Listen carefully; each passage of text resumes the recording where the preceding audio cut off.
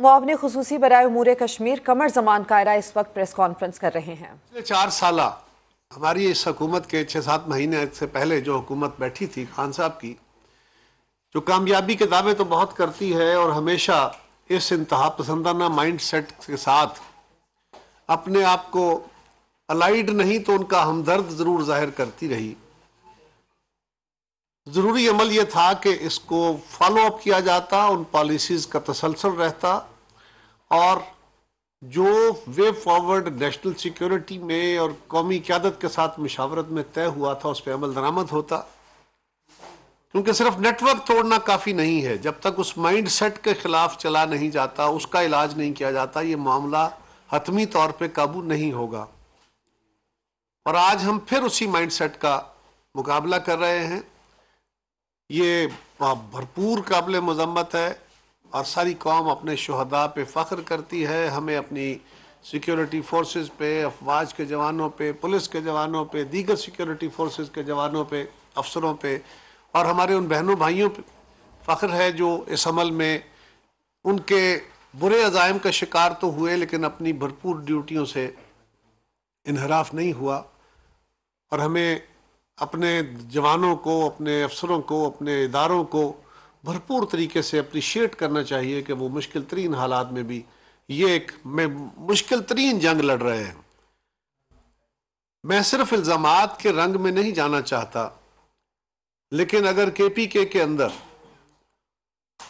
मुखालफों को तंग करने के अलावा इस चीज़ की तरफ़ तवज्जो दी जाती, उन पॉलिसीज़ का तसलसल होता, और ख़ान साहब अपने अना के घोड़े से नीचे उतर के अपने मुखालफी को जैली केसेस में डालने की बजाय इन असल केसेस की तरफ़ तवज्जो देते तो पाकिस्तान के अंदर सूरत हाल मुख्तलफ होती।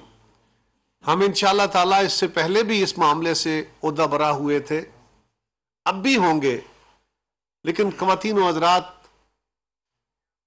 दहशत गर्दी या इंतहा पसंदी की पैदावार है, और इंतहा पसंदी एक रवैया है, इदारा भी है, ये ग्रोह भी है। लेकिन इसकी रिफ्लेक्शन रवैयों में होती है। आज अगर देखें तो पाकिस्तान के अंदर तफरीक बढ़ा दी गई है। इंतहा पसंदाना रवैये बहुत ज़्यादा डिवीज़न की तरफ़ लेके चले गए हैं। डिफरेंसेस जमहूरियत का हिस्सा होते हैं, लेकिन नफरतें नहीं होती। इमरान खान साहब की पूरी पॉलिटिक्स पौने चार साल हुकूमत के और अब अपोजिशन में बैठ के वो जिस डिवीज़न की ज़िक्र कर रहे हैं, जिस नफरत के साथ वो पाकिस्तान के अंदर अपने मुखालफों को, अपनी मुखालफ जमातों को, उनके वोटर्स को जिस तरह उनकी तोहन और तजलील करते हैं, ये रवैया हमारे नौजवानों में भी, हमारे माशरे में भी पनप गया है कि अब लॉजिकल आर्गूमेंटेशन की बजाय सीना जोरी से बात होती है। ये जिस तरफ़ से भी हो अफसोसनाक है तकलीफ़ दे है और ऐसे रवैये ही बुनियादी तौर पे बड़े डिबैकल्स का आगाज़ होते हैं। ये कोई रवैया नहीं है कि आप अपने मुखालफी की अपने आप को तो 22 करोड़ का नुमाइंदा कहें और अपने मुखालफों को जिन्हें पाकिस्तान के अवाम ने ही वोट दे के भेजा हुआ है और आपसे ज़्यादा वोट दिए हुए हैं, आप उनके मैंडेट को तस्लीम न करें। मैं इस रवैये की भी मजम्मत करता हूँ और बिल्कुल इस इस रिजॉल्व का इजहार कर रहा हूँ। कि हम अपनी हुकूमत जो है और पाकिस्तान के अवाम और इदारों के पीछे खड़े हैं, साथ खड़े हैं और इस दहशत गर्दाना माइंड सेट पर भी और इनके नेटवर्क पर भी इन ताला हम काबू पाएँगे। आजकल रोज़ इमरान खान साहब एक नया प्रेस कॉन्फ्रेंस तो नहीं करते, वो एक नया काम उन्होंने शुरू किया है, वो एक तकरीर कर देते हैं और आपके पास वो भेज देते हैं फिर सारा दिन उसी पे हमारे मीडिया वाले दोस्त उस पर बहस करते हैं कि खान साहब ने ये फरमा दिया है और ये भी नहीं देखते अक्सर दोस्त कि खान साहब ने जो बातें की हैं वो अक्सर बातें लॉजिकली नहीं है। वो हकायक के मुनाफी हैं फिर भी उस पर बहस शुरू कर दी जाती है।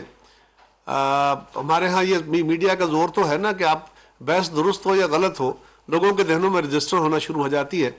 मसलन खान साहब ने यह फरमाया बहुत सारी बातें वो करते रहते पिछले दिनों उन्होंने ये भी कहा कि जी बिलावल भुट्टो जरदारी साहब ने जितने दौरे किए हैं, खारजा अमूर के वज़ीर के हवाले से, मैंने इतने वज़ीर आज़म के दौर पर दौरे नहीं किए थे।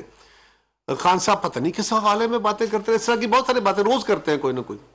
कल भी उन्होंने इसी तरह की गुफ्तु की है, जो जो सर पैर नहीं इसका मिलता। मसलन, वज़ीर खारजा का काम बुनियादी तौर पर पाकिस्तान में बैठ के काम करना नहीं होता। यहाँ भी बैठना होता है, यहाँ भी उन्होंने अपनी पॉलिसीज़ लेके चलनी होती हैं। लेकिन उन्होंने मुख्तलिफ़ ममालिक के साथ जाके, मुख्तलिफ़ फोरम्स पर जाके पाकिस्तान का खारजा महाज संभालना होता है। और उनके दौरे यकीन वज़ीर आज़म से ज़्यादा होंगे। लेकिन जो बात कहने वाली है, वो ये है कि खान साहब, आपने डिप्लोमेटिक डिबैकल किया था। आपके दौर में पाकिस्तान का सफारती इंहदाम हो रहा था। आप पाकिस्तान को बर्बादी की तरफ़ लेके गए थे। जरा गौर कीजिए। बाकी मुआशी और सियासी जो इंहदाम था, वो तो था ही, इदारा जाती। लेकिन सफारती निज़ाम का आलम यह था कि सऊदी अरबिया जैसा हमारा ब्रदर मुल्क, खान साहब हुकूमत में आते हैं, वो पाकिस्तान की मदद हमेशा करते हैं, आज भी कर रहे हैं। उस वक्त भी उन्होंने की। और खान साहब को बड़ी इज्जतों से नवाजा। उनके दिए हुए तोहफे बेच के उनकी इज्जतों का बहुत पास रखा।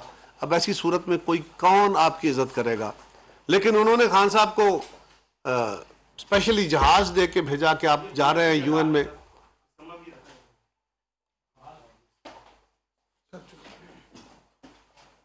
उन्होंने अपने, ये जस्ट ऑफ़ गुडविल था, लेकिन खान साहब ने अमेरिका जाके जो रवैया अख्तियार किया, उससे वो नाराज़ हुए। वो एक गैर मुतव तौर पे अपना जहाज़ विड्रा करके और उन्होंने अपनी नाराज़गी का इजहार भी किया। सऊदी अरब जैसा आल वेदर फ्रेंड जो है, हमेशा भाई जो है, वो नाराज़ किया। और फिर अमेरिका में तुर्की के साथ प्रॉमिस किया, बात आगे बढ़ाई कि हम मलेशिया में होने वाली कॉन्फ्रेंस में शामिल होंगे, होनी चाहिए कॉन्फ्रेंस खुद तहरक किया और एन वक्त पे उससे इनहराफ करके तुर्की जैसे दोस्त को, भाई को नाराज़ किया, मलेशिया को नाराज़ किया। चीन जो हमारा आल वेदर फ्रेंड है जो मुश्किल तरीन वक्त में हमारी खुल के मदद कर रहा है और कर रहा था और करता रहा है, आइंदा भी यही तो है। चीन के प्रोजेक्ट जो था सी पैक का, उसका जो हशर खान साहब ने किया, उसके ऊपर जिस तरह की गुफ्तु जिस तरह के केसेस जो उसको बैक बर्नर पर डाला, उससे उनको नाराज़ किया। और ये बातें को नई मैं नहीं कह रहा, आप जानते हैं कि ये सारी बातें ऐसे ही हुई हुई है।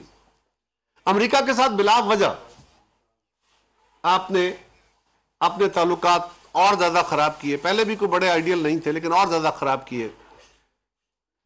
मुख्तलिफ़ फोरम्स के साथ वो फेटफ है या जीएसपी प्लस है, वहाँ रोज पाकिस्तान को नई नई डेटे मिलती रही। और खान साहब का अपना रवैया ऐसा था। आइसोलेट होते गए इन्हदाम की तरफ़ चलते गए। हती के हिंदुस्तान के वज़ीर आज़म ने और हिंदुस्तानी हुकूमत ने कश्मीर के ऊपर नई कानून साजी करके उसको अपना पार्ट डिक्लेयर कर लिया, उसके अंदर बहुत बड़ी तब्दीलियाँ कर ली और खान साहब को दुनिया के किसी मुल्क की तरफ़ से सपोर्ट नहीं मिली। ओआईसी के साथ शाह महमूद साहब ने नाराज़गी का एक माहौल पैदा कर लिया और वो फोरम जो है, आज बिलावल साहब, हिना रवानी, खर साहिबा और वज़ीर अजम साहब की क्यादत में आज फाल सफारतकारी के ज़रिए, अगर हमने पाकिस्तान के इस खारजा महाज को, की बुनतर को ठीक किया है, इसके माहौल को ठीक किया है, या कर रहे हैं, और ये तसलसल के साथ कर रहे हैं तो उस पर एतराज़ होना शुरू हो गया है, बजाय इसके कि उसको अप्रिशिएट किया जाए। बिलावल साहब ने जब से खारजा अमूर का महाज संभाला है, अपने विरसे के मुताबिक, अपने नाना और अपनी वालदा के जो उनका विजन था, उसके मुताबिक उन्होंने दुनिया भर में पाकिस्तान को मुख्तलिफ़ फोरम्स पे बेहतरीन नुमाइंदगी की है और सारा मुल्क और सारा आलम जानता है। वो फेटफ हो, वो जीएसपी प्लस हो, वो अमेरिका के साथ ताल्लुकात हों, वो यूनाइटेड नेशंस के साथ ताल्लुकात हों, वो आईएमएफ वो वर्ल्ड बैंक वो यूएन वो फ्लड्स के अंदर पाकिस्तान को जिस तरह की फाल सफारतकारी की ज़रूरत थी। इन सारे मामला में उन्होंने भरपूर तरीके से पाकिस्तान के मौक़ को सपोर्ट किया है, आगे बढ़ाया है और उसके लिए मदद हासिल की है। पहली दफ़ा अमरीकियों ने आज़ाद कश्मीर को आज़ाद माना है। पहली दफ़ा यूरोपीय यूनियन के एक अहम मुल्क ने पाकिस्तान के उस मौकफ की तायद की है। साठ सालों के बाद पहली दफ़ा ओआईसी का वफद सेक्रेटरी जनरल ओआईसी की क्यादत में पाकिस्तान आके और लाइन ऑफ़ कंट्रोल के ऊपर गया। मैं उनके साथ गया और वो बड़े खुल के उन्होंने आज जाके खुद लोगों से मिले, अपनी आँखों से सारा कुछ देखा और ये पाकिस्तान के मौकफ की बड़ी भरपूर सपोर्ट थी। ये उस फाल सफारतकारी का नतीजा था। इसी तरह और बहुत सारे महाज हैं। और फिर जब बिलावल साहब ने तकलीफ़ शायद सबको इससे हुई है कि बिलावल साहब ने जब हिंदुस्तान के वज़ीर आज़म और हिंदुस्तान के वज़ीर खारजा को बड़ा जरूरतमंदाना लेकिन बड़ा होशमंदाना, बड़ा हकायक पे मबनी मौकफ दिया तो उस पर सारी दुनिया में, यानी हिंदुस्तान के अंदर तो उन्हें तकलीफ़ होनी थी, और हुई, और बजा हुई। सारी दुनिया में उसको अप्रिशिएट किया गया कि पाकिस्तान का मौकफ बड़े मुनासिब तरीके से उन्होंने पेश किया। और यह सिर्फ़ पाकिस्तान का मौकफ नहीं है।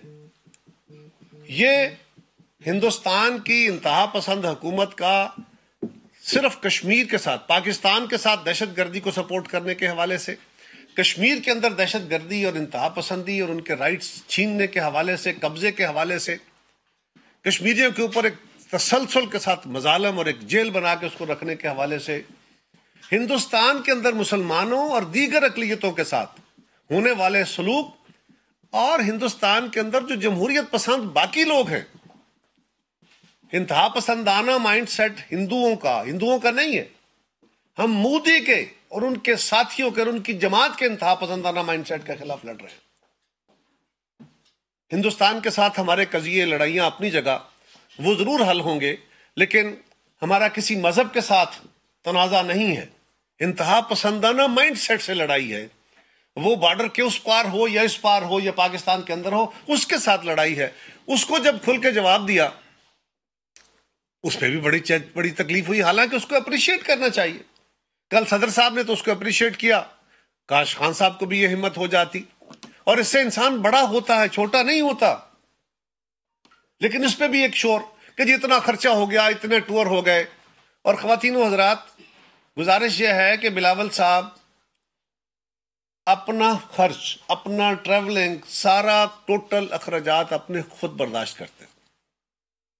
ये बात हमने कहनी नहीं थी, बतानी नहीं थी, करने की ज़रूरत नहीं थी, ना हमें इसकी इजाज़त देते हैं वो।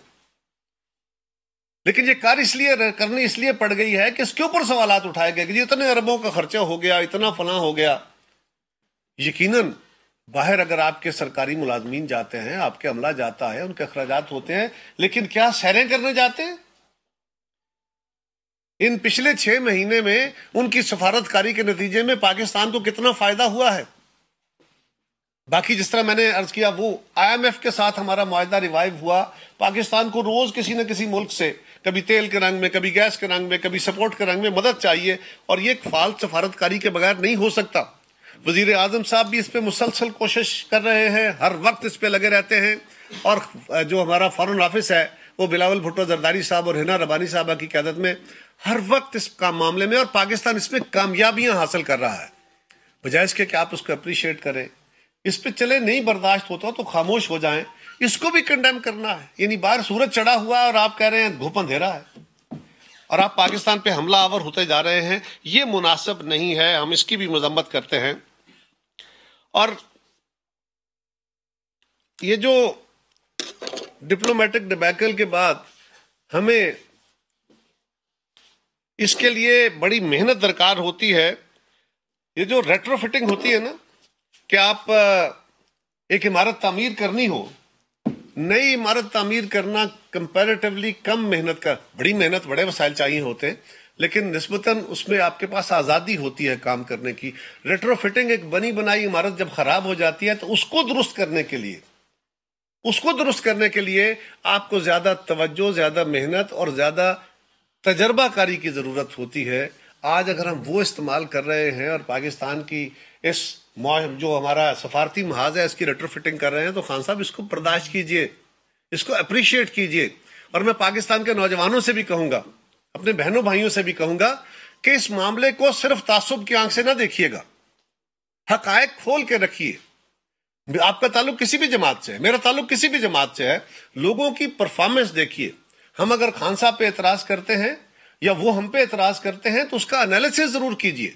क्योंकि जब तक हम ठंडे दिल से चीज़ों के तजिए नहीं करेंगे, हकायक नहीं जानेंगे, हम शराबों के पीछे भागते रहेंगे। खातन हजरात, ख्वाब देखना कोई जुर्म नहीं है। ख्वाबों के बगैर कौमें नहीं बना करती, अफराद आगे नहीं बढ़ सकते। सियासी जमातें ख्वाब दिखाती हैं। कौमें ख्वाब देखती हैं, लेकिन ड्रीम्स एंड डिल्यूजन्स में फ़र्क होता है। ख्वाबों की ताबीर ढूंढी जाती है और शराबों के पीछे भागते भागते इंसान मुश्किल में और कौमें जो है वो बेरार हो जाती है। इमरान खान, आप कौम को शराब दिखा रहे हैं डिल्यूजन में ले गए हैं।